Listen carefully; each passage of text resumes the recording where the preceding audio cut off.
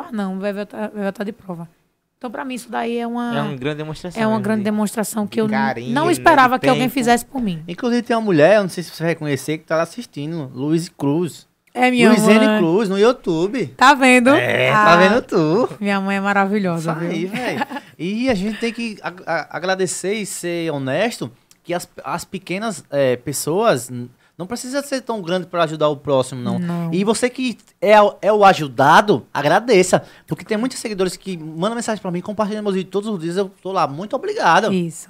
É. Tem que agradecer. É prazeroso Não é não? demais, Não. com certeza. Como você disse, tendo uma pessoa, Já foi, já mano. tá a vida feliz. segue. E, e se for nossa família, melhor ainda. mais ainda. Aí você vê minha mãe, né? Ela não é muito de Sim. rede social, mas E já tá tá, aqui no já YouTube. conseguiu clicar ali no, no Tá aqui no link, já YouTube. foi. E a- Tem um- uma pergunta aqui muito massa que fizeram aqui. no YouTube? Sim, no YouTube. Então manda brasa aí.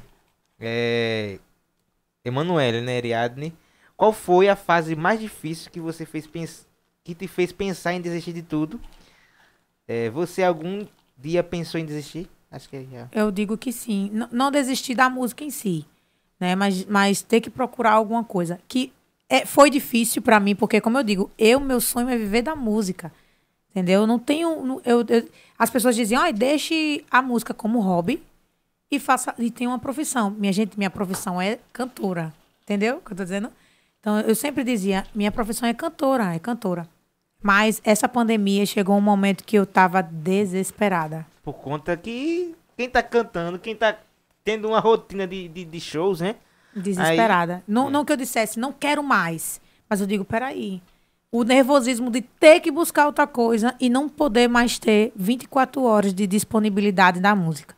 Entendeu? Então é foi um nervosismo. Foi para mim foi essa parte maior que eu, que eu comecei a, a acordar chorando, dormir chorando, que, que me deixou mais nervosa nessa parte da música. né? Sim, me diz uma coisa. Você cantou num casamento, foi? Lá na lancha.